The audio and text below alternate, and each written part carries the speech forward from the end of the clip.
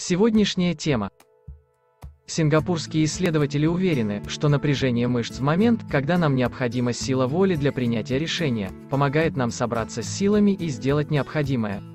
В ходе экспериментов волонтерам предлагали стерпеть боль ради выгоды, выпить отвратительный по вкусу напиток, просмотреть фотографии с изображением тяжело раненых во время землетрясения детей перед тем, как сделать пожертвование, а также воздержаться от искушающего десерта.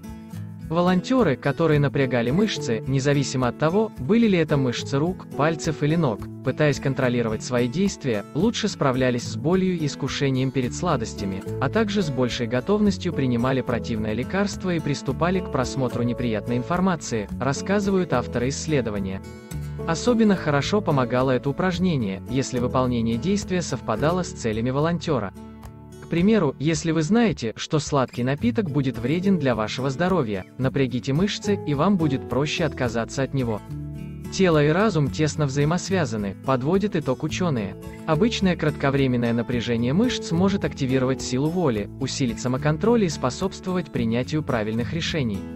Источник – здрава.ком Ставь лайк и подписывайся на наш канал.